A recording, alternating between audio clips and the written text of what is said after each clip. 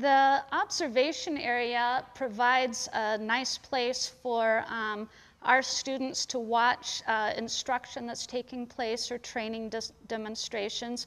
And for most uh, arenas, you want some place where people can observe the horse and riders um, in the pen.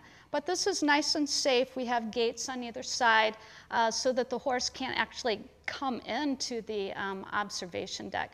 Another thing you'll see on our observation area uh, is this riding mirror. So as our students are passing uh, this line, they can actually look at their form.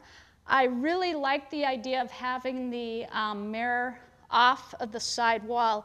Uh, I've experienced personally at another farm a horse that was turned out in an indoor arena running into a observational mirror and getting permanently disfigured uh, from crashing into that mirror. So one, you need to make sure if you're using a mirror in the riding pen uh, that it's very durable. And two, if you can locate it in a safe place where horses don't have access to it, that's even better.